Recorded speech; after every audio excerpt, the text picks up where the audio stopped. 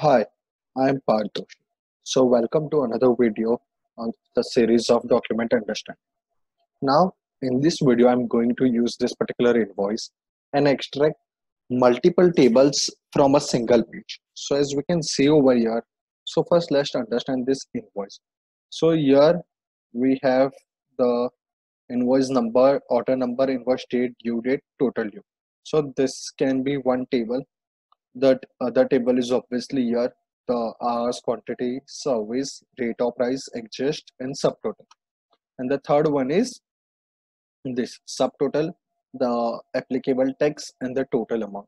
So these are three different tables we can assume over here. So if we see the second one the hours and quantity this particular table. So this is already in a format of table. Like uh, we have columns and rows. But this the first one invoice number and the subtotal one. It's not in a table kind of format. So in this particular workflow what i'm going to do is i'm going to use extract this hours and quantity and the subtotal and text using a table format. Like i will keep the, the type as table and for this i will just extract the details from it. The invoice number order number date due date and the total so let's get started. opened, so I've already created a workflow. I will just walk through the complete workflow and show what all needs to be done.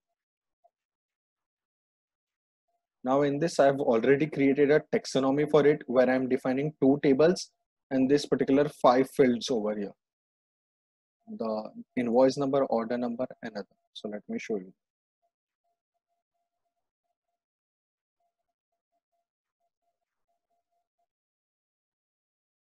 The taxonomy is loading.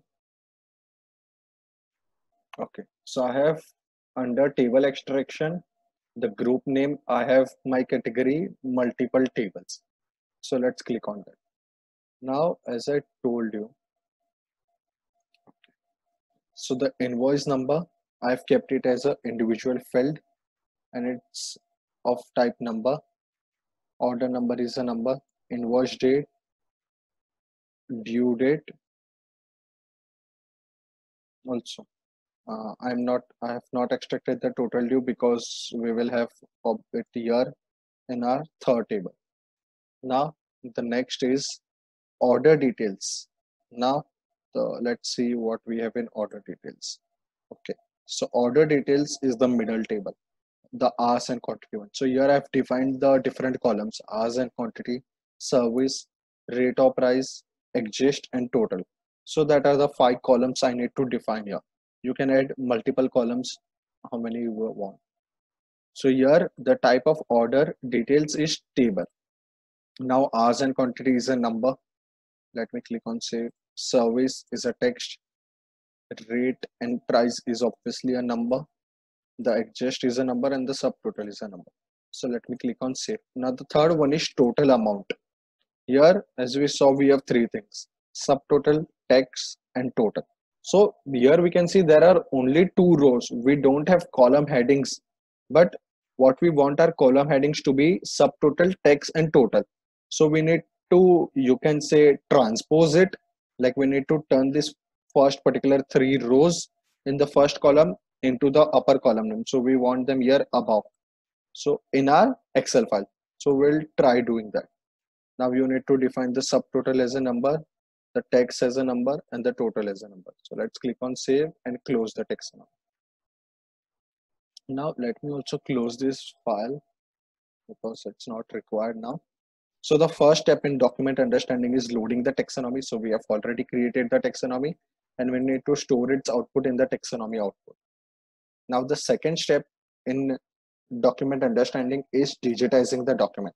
So we need to specify the path over here, which I've done in here in the variable. Then output is the document text and the document object model. You need to use a OCR engine. You can use other as well, Microsoft or OmniPage. You can use any OCR you wish. Now the third step. So the first step was loading the taxonomy. The second is digitizing the document.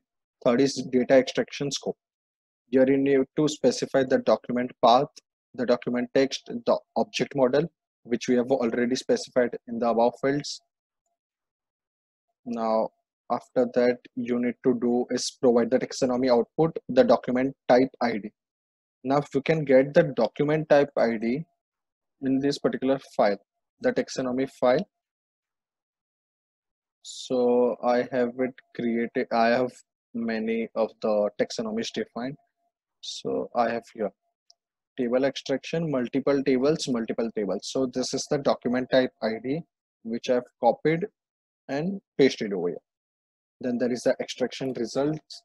Then i'm using here a form extractor. So what i'm doing in form extractor is i'm specifying the input. So this is by default done and you need to specify the api key. So you can go to cloud.uipath.com there in licenses section you can click on other and when you click on other you will see like a api key option. So what you can do is you can copy that particular api key and paste it. So after copying the api key you need to click on manage templates and you need to click on create template. So when you click on create template you will see this particular option. So you need to select the multiple tables type name it select a naive document and ocr so i've already done all that and created a template for it so let me edit it and show you what are the how you can select the particular field. So let me maximize it. Okay. So first we need to select five fields. So you can press the control button and select five different fields. So i can just change the extract now for invoice number this is my invoice number. I've used custom selection dragging it here and change the extract so similarly you need to do for order number the date the date and we don't require the total due over here. So i've similarly done that. Now the main part comes over here when i'm trying to extract the order details. So let this uh, so let me show you how we can do. So when I click on extract new table and I drag it over here. So since this is already in a proper row column format and a table format, we'll get the headers above itself. So here I can select hours and quantity. I need to select average, date and price, adjust, and subtotal. Extract headers as well save new table now if you want to add a particular row manually what you can do is wait let me delete this additional these are the additional rows let me click insert row below now here if i use custom selection drag over this field and i can edit over here so this is how you can use custom selections while selecting the rows you want. So I don't want this row, so I'm deleting it and save and close. Now the other table, the subtotal one. So this is the total What I did over here is since I wanted them as the column name, I had already specified them in the yeah. So what you can do is since you had already specified the column name. So the advantage now I want to tell you here when we specify all the fields properly in the taxonomy we get them over here so if i want to suppose i'm selecting this particular year subtotal i want this as my column name. So what i can do i can select it as custom area click here and i can define it over here. Later i want to do the text text. So i have selected here. Okay. So let me click again on this text. I can put it over here. Change extractable. So the advantage of defining the fields properly in the taxonomy is that you can use them over here directly. Now I have defined total. Similarly, uh, so if you see here, the custom selected part is this particular thing.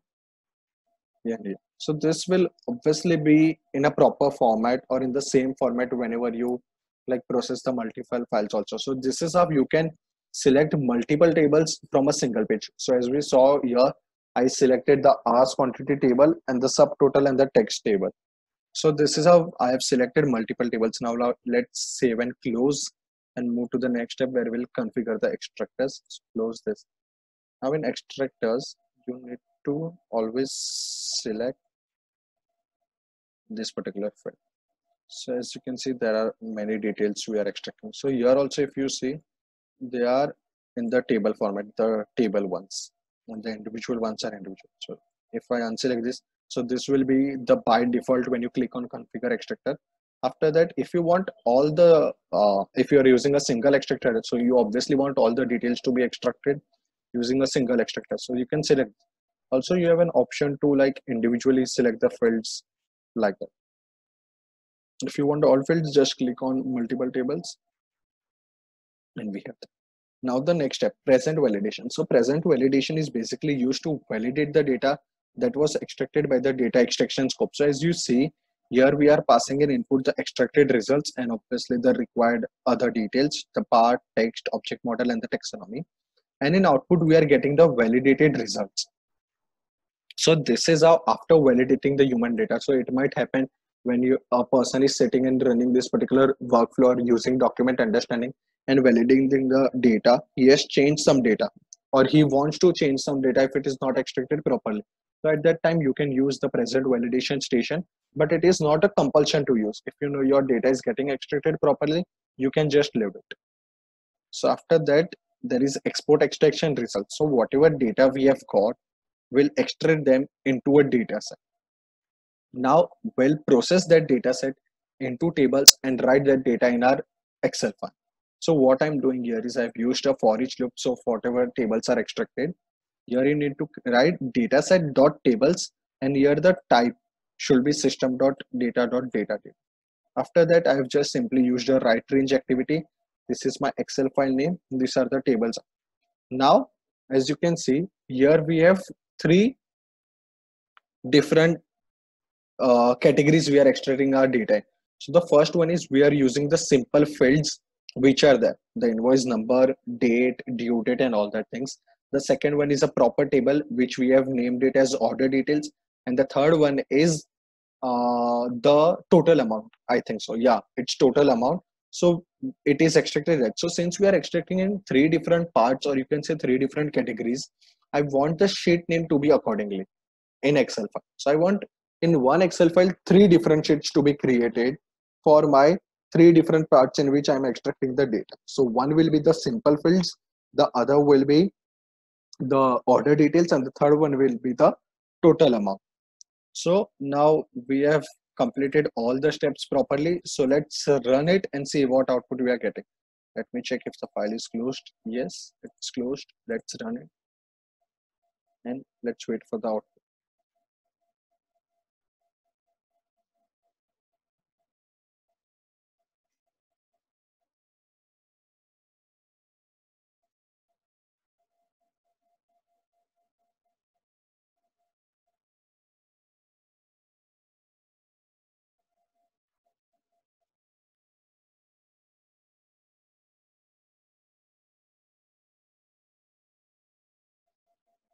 So now we'll get the prompt of present validation station.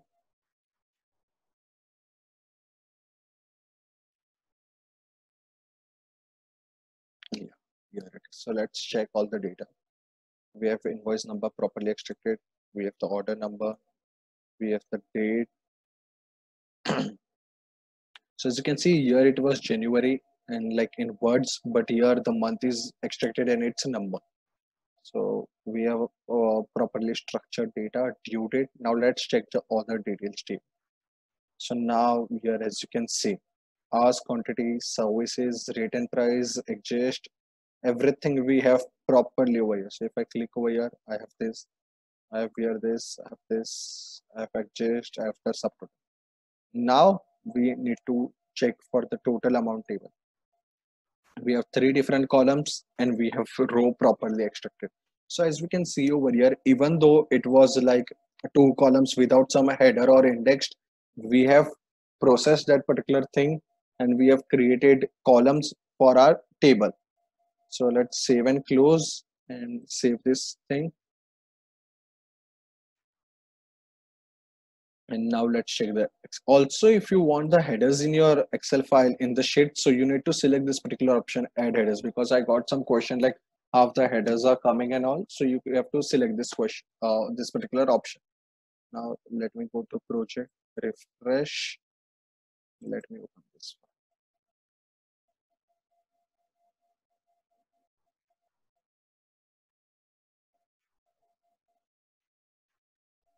yeah so this is the excel file. Now you can see we have all the details properly extracted over here. Invoice date due date and the order table and the total amount is the another table which we are extracting. So that's there over here. Now after that as you can see we have one more simple fields formatted created. So this is the one like when we are saying present validation we saw that there were different values coming there below. So as you can see as i showed you like the month was uh, 25 1 2016 but here we have the weights written in the document. So the values there below are the formatted values. So one more sheet for that is created. So we can delete these particular sheets all the formatted ones because we don't require them. So let me delete all of them and delete. Now let's check the other. Here we have all the details the order details. So as and quantity was one this was web designing the this is a simple description. We have the below text as well extracted. Adjust was zero and we have the subtotal. Now in the total we have the subtotal text and the total. So this is how we have all the extracted values. Mm. So here we saw in this particular video how we can extract multiple tables even though if our table is not in a proper row and column format even though how we can still extract the data from it. So thank you for watching the complete video. Also do subscribe to my channel if you like this video. And there are many more videos on document understanding and other topics as well on my channel. So you can go to the channel videos and check out the other videos as well. Also please do press the bell icon over there below because to stay updated to all the videos i upload. Thank you